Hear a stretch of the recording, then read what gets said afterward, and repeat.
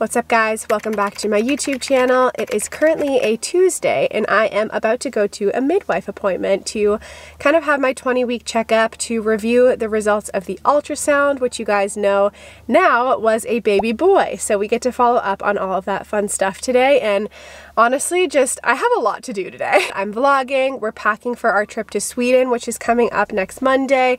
I'm planning for Viv's first birthday party. There's just a lot in the mix. So I'm going to be vlogging all of that today. This video is also sponsored by Cubo AI and they have a really exciting offer for you guys. So if you're interested in hearing more about that, then just keep on watching. I'm really interested about what we're going to talk about at this midwife appointment today because we didn't have like a full on scare, but just a little bit of a scare this past week after I had the 20 week scan. Basically, I was in there and the scan went really, really long, like 30 to 45 minutes over time, what it usually goes, and it's a full hour for the 20 week anatomy scan. So that's a really long time. And I could see on the screen beside me because from where I was at, I could see like what was going on. They were taking a really long time on the spine, the brain, and the kidneys specifically. And I just remember thinking like, oh God, what is going on? Especially because at the 11 week scan, we ended up hearing out about the nasal bone. So obviously all this stuff is going through my head and I just had like a bad feeling when I left. So I ended up calling our midwife and just letting them know like, hey, if you can give me a call before the follow-up appointment to just let me know so I can wrap my head around this, like I would really appreciate that. And so essentially they said like on our end, no news is good news. So if you don't get a call from us tomorrow or the next day, like everything's good. If we do call you, it's because there's something we need to talk about. So Obviously, I am just like, all right, I hope I don't get a call. The next day, I'm at work and I get a call from them. So I get up and I go from my desk and I take this call. And luckily, everything did actually end up being okay. Essentially, they were just saying that the reason the scan took long and the reason that they had to like mark it as an abnormal ultrasound was because the baby was so squirmy that they couldn't actually get all the like shots that they needed to get. So they needed to get better shots of the spine, the kidney, and the brain. All of the parts that I know noticed that they hadn't taken enough of. So they recommended actually going back for another ultrasound like three or four weeks from now which is why I don't know if there'll be enough to talk about today or what we'll review. Um, but I am excited to just hear the heartbeat again, to just make sure that things are looking good. And from the other results, I just want to know how big the baby is measuring as well. So hopefully we can get an update on all of that stuff today. It's honestly nice to just like take a second to breathe before I go into like appointments or things like that these days because life has just been so full on recently. Like this week, last week, next week are on honestly like some of the busiest weeks that I feel like I've ever experienced as a person. And it's certainly the busiest season that Jared and I have ever been in as husband and wife. And it has honestly been a little overwhelming. Like all I can really say right now is it feels like every major life thing that could happen is happening in the course of like a couple of weeks out of just nowhere to be quite honest. And we are both feeling it big time. The nice thing is that it's all good stuff, it's all exciting stuff, but it doesn't make it any less like overwhelming or intense. And so I'm hoping that we can just like sit down and give you guys a little bit of a just a life update in a little bit and bring you up to speed on where things are currently at. But we also leave for Sweden on this coming Monday for 10 days. And on the 13th, I start full-time work five days a week again. I went back at three days a week, so I've been home with Vivi on Tuesdays and Fridays, which has been a really good way to break up the time, but I have very much felt like the weeks have already been full with that schedule. So I have to admit, I'm a little bit nervous to go back at the five days of just like how we're gonna fit everything in but we're just trying to give each other and ourselves grace with like managing everything right now and like taking the breaks when we can. So before I go into appointments, it's always a second for me to just like breathe and to pray and to take a deep breath. All right, I'm back home. I'm gonna give you guys a little bit of an update on how that went. If I sound super stuffy, I am. I have like found that I've had sinus, just like congestion throughout a lot of this pregnancy. It also doesn't help that I have hay fever and seasonal allergies and I'm sitting beside a window. So if I sound stuffy, that's why. But I just got back from the midwife appointment. We basically just went over the results that we do have from the ultrasound. Everything looks great. Um, the nasal bone is present and looks normal, which is amazing. Again, they just confirmed that they want to get a couple like better shots of those key areas. So we booked another ultrasound for, I think it was June 14th, which is actually Vivian's birthday. At 8 a.m. and I'll go in for just like a quick 30 minute scan and we'll make sure that we get the shots that we need. But we listened to heartbeat, all of that looks good. They took my blood pressure and all of that looked good. Basically, they were like, do you have any like questions or things that you want to talk about? And I was like, honestly, not really. I feel like I just did this, so all of it is very fresh. And they were like, yeah, like there's not that much more to go over. So we did talk a little bit more about the glucose test. I'm not going to do the three hour right off the hop. I am going to move forward with just the one hour and just see how things go from there. I'll update you guys on if I end up needing to go back after that. Right now, this baby is smaller than Vivian was at this point. They're technically actually measuring like five days behind from the due date of October 5th and she said that the baby is currently only 25th percentile for weight. So still very teeny tiny and there. Again, she said like none of that really means anything yet. So we're going to have to wait and see closer too. But stranger things have happened. I don't know. Maybe this will be my tiny baby and I will not have to do another 9-7. Since I am now 20 weeks and 6 days, I wanted to do like a halfway pregnancy, just kind of like update with how I've been feeling and how things have been going so far. I honestly still have to remind myself that I'm pregnant sometimes because this pregnancy has genuinely been so much easier than my first pregnancy was. And I've said to Jared a couple times, I don't know if it's just because I'm like used to what pregnancy is like or if it has been easier overall, but I genuinely do believe that it's been easier overall. Like just overall less nausea. The headaches didn't last as long even though I did have them. I haven't really had that many aches and pains yet, knock on wood. So I'm currently 20 weeks and 6 days and my app is telling me that the baby is the size of like a sweet potato right now. I believe this is the point that you start measuring from like top to bottom instead of kind of all over. But this is saying that the baby is approximately 10 ounces and 6.5 inches. So again, all of that stuff is kind of up for interpretation, but I wrote down a couple of things that I've been experiencing at this point. So again, it has been an easier pregnancy so far. Maybe that's related to the fact that it's a boy, but I'm sure there are people that are boy moms watching this that did not have easy pregnancies. So I won't just like chalk it up entirely to that. To give you guys an update on the headaches, I haven't had them since around 19 weeks or so. So I was getting them daily and then I had like a week and a half off and then I got another one and I was like, oh, are we back in this? But then after that, that was just kind of a blip and I haven't had them since. So at 20 weeks, six days, I have been without a headache now for almost two weeks, which is incredible and I'm so grateful for that. One of the things that has started though is heartburn. So I noticed probably in the last four or five days that kind of around meals, but like also just in between meals, really just throughout the day in general, I'm having more of that feeling of heartburn that's really hard to like actually take away. I forgot how bad that feeling sucks and I forgot how to cope with it. So I feel like Tums were one of the ones, but if you guys have any heartburn recommendations, let me know. I also had my first leg cramp that woke me up in the middle of the night the other day. Like waking up at 3 a.m. with your entire leg just seizing and it is awful. I used to actually wake Jared up and like make him ride it out with me because I'm dramatic.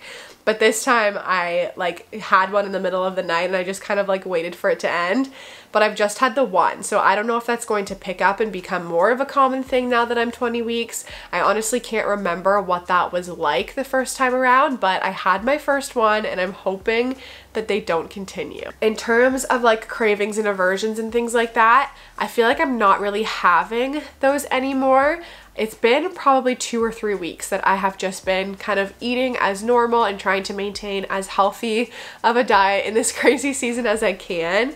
I still am eating a lot of fruit. That's just what we've been buying because we've been getting it on sale because it's the season for it. So I don't know if that is a craving right now as much as it is just like part of our regular diet and lifestyle. But if anything, I would say fruit is the big thing, but overall, no more like crazy cravings like pizza pockets with ranch and hot sauce or anything like that anymore. My diet has definitely leveled out. The other thing that I have noticed that has been interesting to me is that my sleep has been a lot better in this pregnancy. I'm not getting up to pee as much as I was last time. And I don't know if that's because I'm drinking less water throughout the day or if it's just like I'm just in more of a deeper sleep. So I'm not kind of like getting up and it's like, oh, I might as well pee.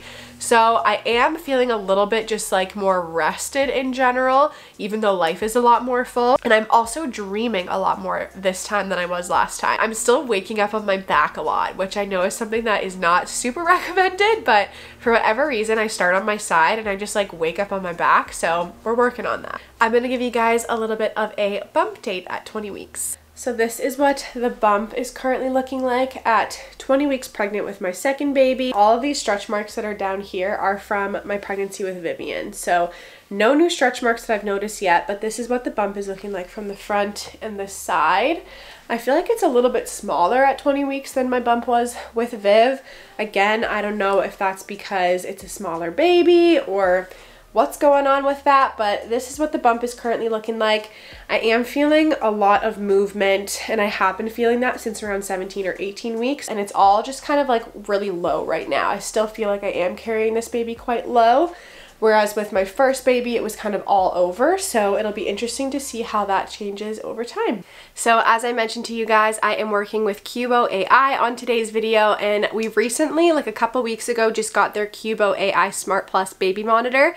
And I wanted to do a little bit of a comparison between the Cubo and the Owlet because you guys know I've talked about it before in my like newborn videos that we originally had the Owlet and that was the baby monitor that we were using when we had Vivian, but we actually didn't love it. And I wanted to share at least my own experience with some of the things that are different between these two and why we ended up liking this one a lot more than the Owlet. So right off the bat, one of the things that I love about Cubo specifically is that it was founded by a mom. And when it comes to products specifically made for moms, I feel like other moms just know mom's best. So the Cubo app will send alerts directly to your phone and it will notify you if your baby's face is covered, if they are crawling kind of within the safe boundaries that you have assigned for their crib. And that's something that we're paying a lot more attention to now that Vivian is climbing so much. And it will also just send you notifications if you are in another room and your baby starts crying and they may need your attention. The other thing that's really nice about the Plus baby monitor is that the configuration grows with the baby as well. So they have a number of different ways you can set it up. You can have it on a wall mount, you can have a crib stand, you can have a floor stand, which is what we currently have. So it can attach to a crib, to a bassinet, or anywhere else that you need it to actually keep your baby safe. So in terms of the things that really stuck out for me for Cubo that were different in my experience with Owlet is that with the Owlet, we just like could not get the camera to connect. The camera would always just say connection offline and it wasn't a Wi-Fi issue because our Wi-Fi is plenty strong. It works for a lot of other things. My husband and I would have to like take turns pausing the movie and going up just to check on her to make sure that we like knew that she was okay. And I just feel like for new parents, you need a lot more peace of mind than that. When I told them what was happening with the camera and that we were having a lot of issues with connection,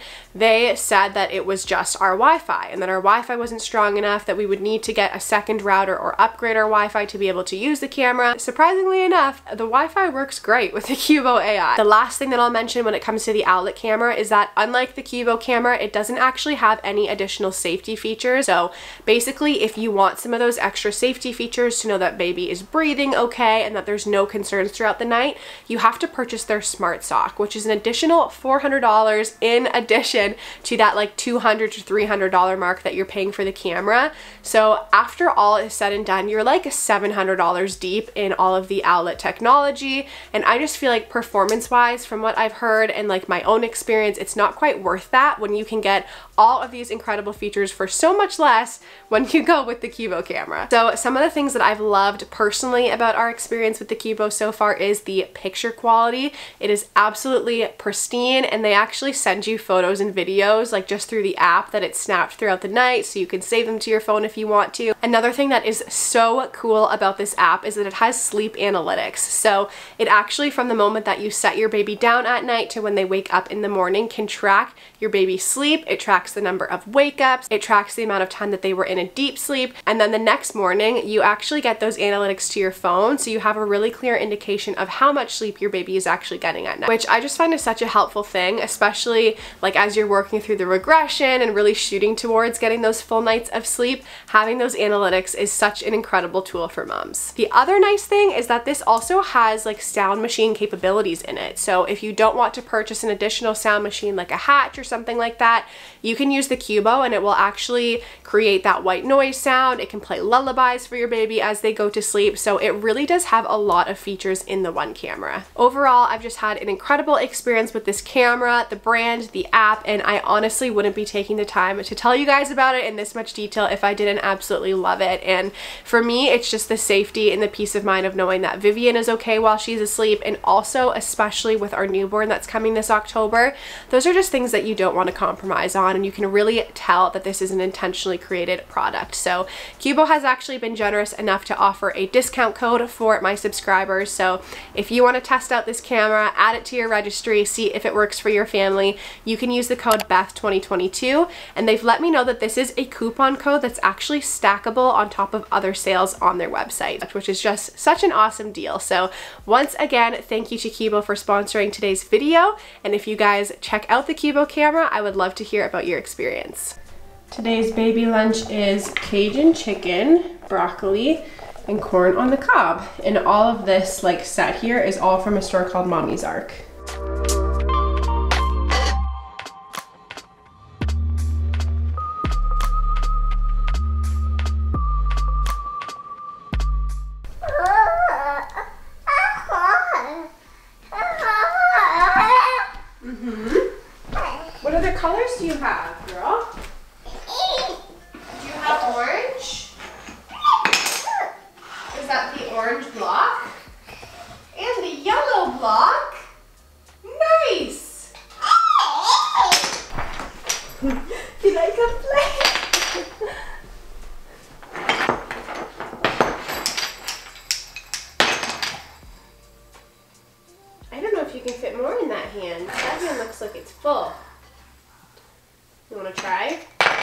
Wow.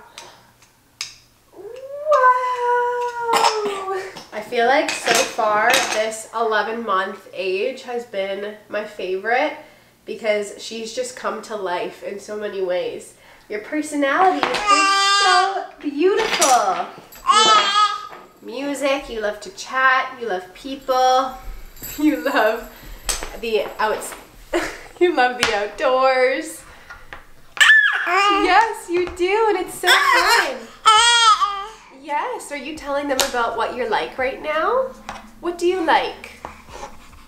You like your vlogs? Wow! Where is the outside? Can you see the outside right now? Where is it? Yes! It's out there! And do you see a tree? Where is a tree?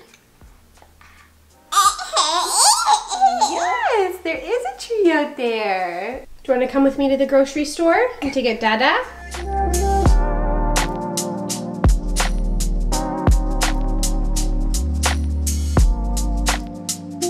Just got home from the grocery store and all of these boxes were on the front porch. And obviously I know what this one is and I ordered it, but I don't know what either of these things are. So I'm gonna open them up. Gosh, it's like really heavy, hey? So we got bunch of PR. So this is from Cariloha. It's bamboo bedding, which is supposed to be really, really soft. So it's like a sheet set and pillowcases. And then this is called a Newsy or a Nuzzie. I'm pretty sure it's called Nuzzie. It's a weighted blanket, which is supposed to be really good for like sleep and anxiety. And it's knitted. So I'll show you guys when we actually get it out of this massive bag. This thing is freaking big. Baby. Did we I'm lose stuck. Dad? Ooh. You're working hard. We're doing good. We're gonna make it through this week. Yeah, you are too, baby. Gonna make it through this week, buddy. How many more days until we get to just Wednesday. Every time I think Friday, about the Saturday, Sweden trip, though, I think about the passport that we don't I have know. yet. Six more days. We'll have it. the passport will come. It will happen. Just has to. Where did the child go? She's in the living room still, dude. I wanted to give you guys a little bit of an update on what I'm thinking right now and planning for her first birthday. I cannot even believe those words are coming out of my mouth. It's insane that we're already at this point planning her first birthday party.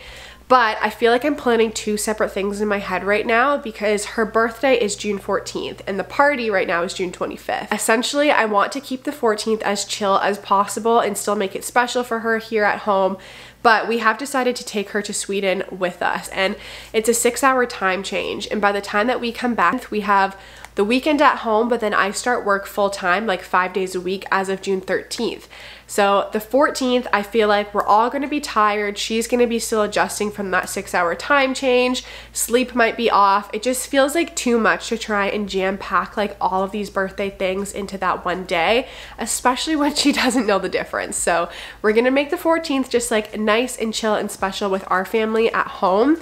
And then on the 25th is when we'll have her actual birthday party. And I'm gonna share all of the fun plans for that with you guys too. In terms of like things to make the 14th special, I grabbed this like happy birthday photo banner that just has like one month, two month, three month. I'll link this in the description box for you guys so you can check it out if you want to. And then the big gift that we're doing for her that I think I'll wait to give her until the 25th is an IKEA kitchen. So I'm doing the IKEA kitchen makeover. I'm not doing one of the crazy ones where you like paint it and add backsplash and do all that stuff.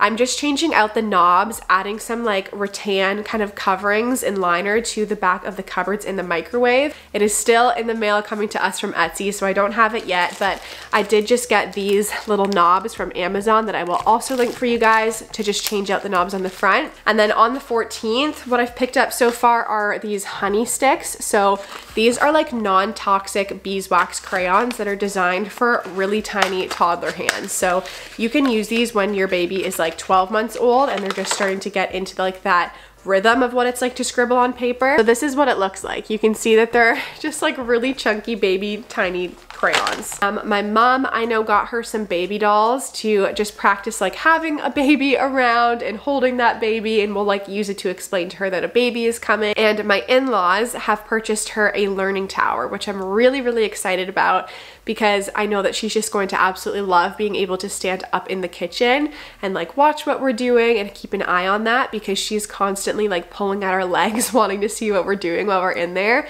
So I'm super, super excited for her to get that too. So as I go through some of the plans and wrap my head around it, I'm going to show you guys some pictures of what I'm thinking for her actual birthday party on the 25th but I've rented out a local event space for it. Basically, our space would be too small to hold something like this, and if I did it at a family member's house, we would all have to travel too far for it to be worth it with young kids. So I've rented out a space that's like 20 minutes from our house and it is stunning. It is white. There are massive windows, so a ton of beautiful natural light coming through. A really nice stone white fireplace. I'm thinking I'm gonna do like the major setup in front of that fireplace where Vivian will do a cake smash and we'll have just a really cute backdrop behind her. So I'm actually working with a local decorating company that's gonna come in and make this space look really beautiful with us. So they're going to be doing a color palette that's very like muted pinks and some beige tones, some white tones in there as well and we're gonna do like those little panel arch wall things. I'll show you guys a photo of what I'm talking about because it's not gonna make sense, but we're gonna do that. We might do a balloon arch as well, and then we'll do her cake smash kind of in front of that backdrop. Then this event company also specializes in outdoor picnics. So they're going to bring that kind of like vibe and look into the space, and we'll have a couple of outdoor picnic tables down in there as well for people to sit at that are just really beautiful. It's only gonna be like an hour and a half long long drop-in kind of thing, but we'll do a cake smash for Viv where she'll get like a strawberry shortcake um, cake. She absolutely loves strawberries, so Jared and I were like, how can we incorporate strawberries into the party without making that the theme?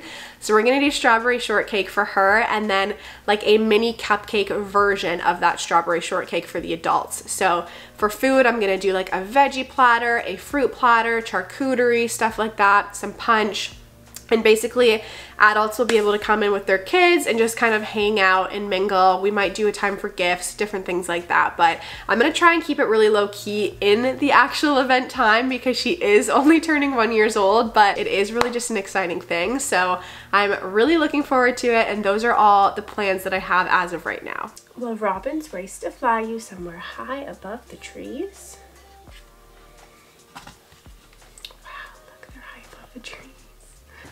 This is the way we brush our teeth when we are done our day. Mm-hmm.